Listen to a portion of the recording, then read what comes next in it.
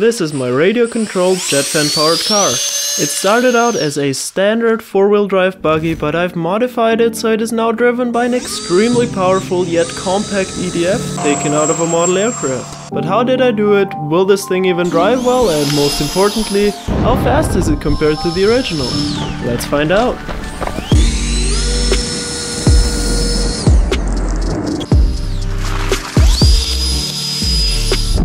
This small RC buggy is the base vehicle that we're gonna attach the jet fan to. I decided to do a quick GPS speed test as a baseline, Another one. just driving it full throttle up and down the road, and looks like we got 46.4 kilometers an hour.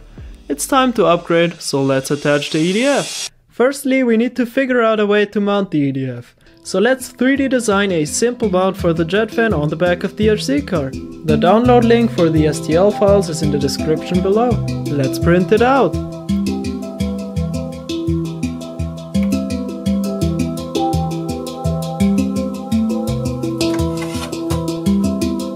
That came out perfectly, but what if you don't have a 3D printer to make stuff like this? Check out PCBWay, the sponsor of this video. They offer a wide range of 3D printing and CNC machining services, utilizing plastics like PETG, PLA, resin and nylon, or even metals like aluminium, titanium and steel. Simply upload your 3D files and get an instant quote, then have the parts custom made and shipped to you within just a couple of days. With that, back to the video. After printing it out, the fan fits into it pretty snug. Oh wait, no it doesn't. These lips are preventing the mount from going in. Let's send them off. Alright, now it fits just perfectly into the mount.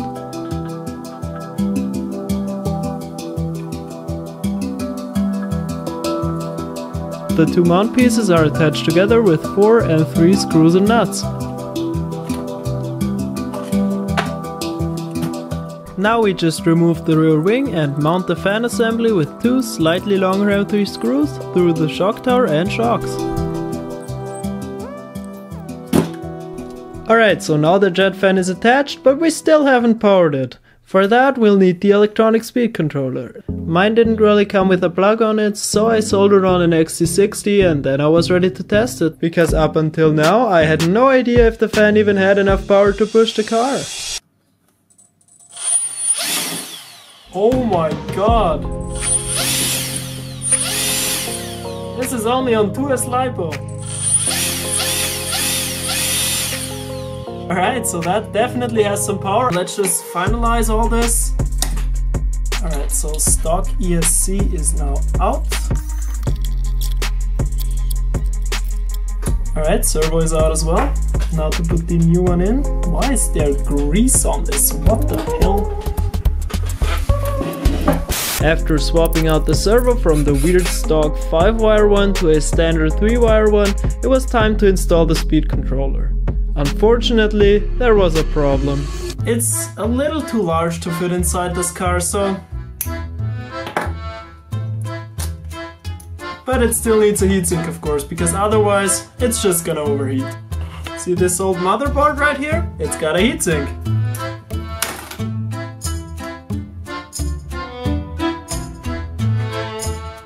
Now the ESC fit perfectly and now the only thing left to do before we can go test it out is to remove the drive shaft so it can freewheel nicely. Let's do that real quick.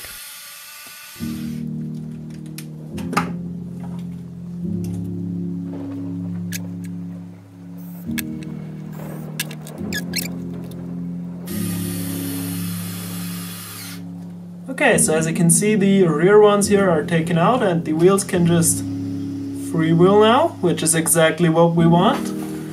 Now for the front ones, and these ones are gonna be a little harder because they're actually attached to the axle here. Because of that, I'm gonna be replacing them with some axles that don't have the drive shafts attached. Let's install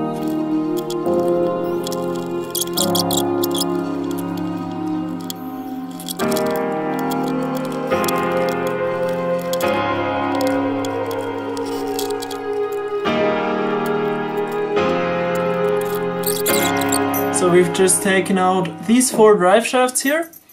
And it rolls so much more smoothly now, which is exactly what we want. Look, all four wheels can freewheel now. Perfect. With that, it was now finally time to pop in a battery and test it out. Will this random idea I had just a couple of days earlier even work out, or was it all just a massive waste of time? Whoa, this thing's gonna go!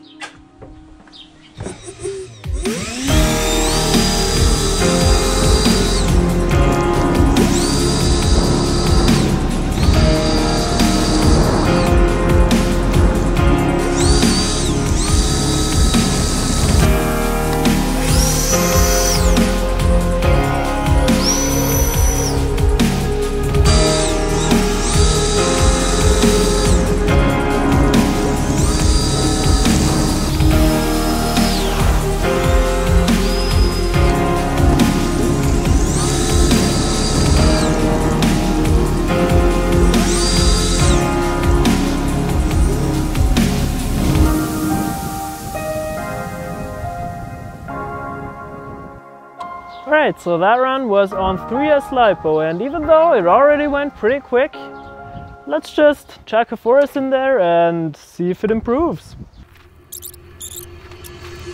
Alright, let's try this out.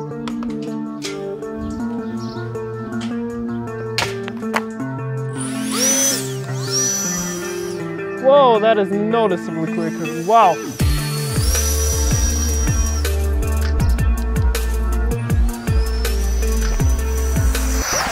Whoa! Holy crap. Now hold on a second.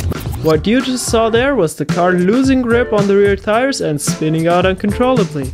But why did it do that? Well, as the fan pushes out more and more air at high RPM, it not only moves the car forward, but it actually also lifts the back end of it up, causing a loss of grip.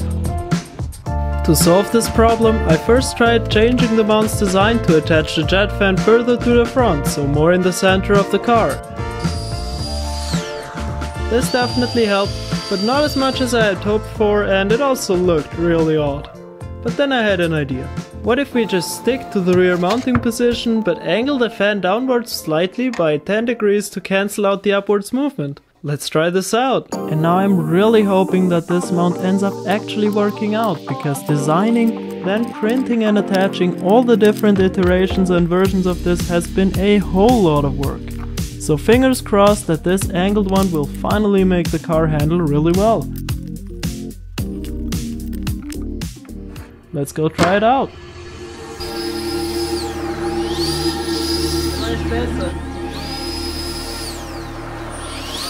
With that, it was driving noticeably nicer at low speed, but will that be enough to stop it from spinning out and crashing at high speed? Let's find out.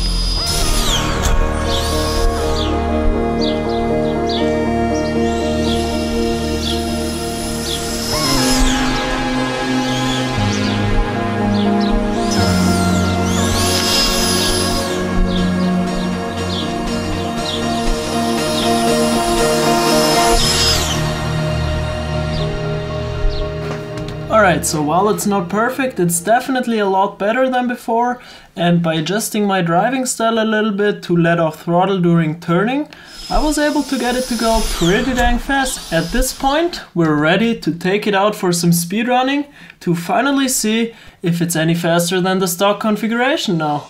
Let's go!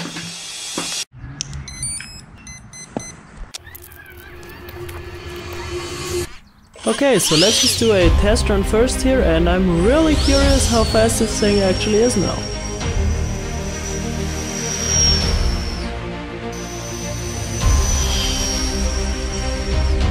Alright, so that was 57.4 kilometers an hour already. But I bet it has a lot more in it, so let's just try that again.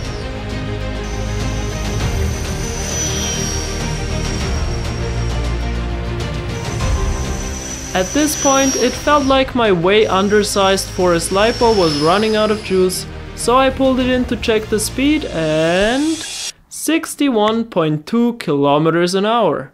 Pretty quick, but I don't think it actually tops out there. So I came back the next day.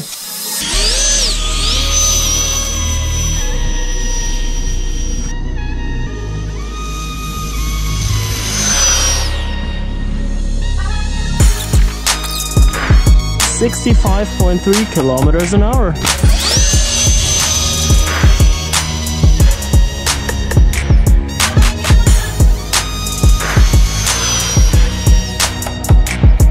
Oh my god, it flipped, it flipped. Okay, let's see what speed we got though. Oh, look at that. 68.0, that's quick, wow. Oh, look, the ducted fan came out a little bit, it's fine now. The top speed we managed to get in the end was 68 kilometers an hour. Compared to the stock wheel driven setup at 46.4, that's almost a 50% increase. But it's not just about speed, because honestly, an upgraded wheel-driven setup could have gone even faster. It's about the driving experience as well. And as far as I found, it's extremely fun to see this thing accelerate just being propelled by air coming out of the roaring jet fan, then watch it freewheel for miles in complete silence. That makes it different from any other RC car I've ever driven and it's honestly really fun to rip around with it. Now, enjoy this montage of me doing exactly that.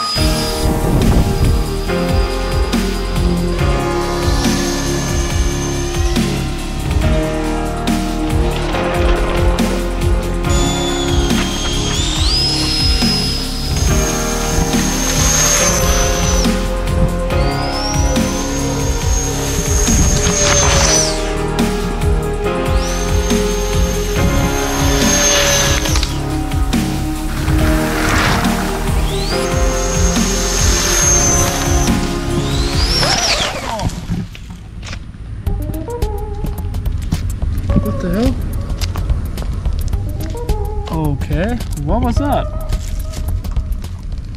Um, I am not sure how that just happened. I think I hit this. I hit a McDonald's drink. Huh? And it caused this amount of damage. What the hell? Um, what? I am actually so confused right now. What the actual hell? okay, interesting. Well, I guess that's the end of that then.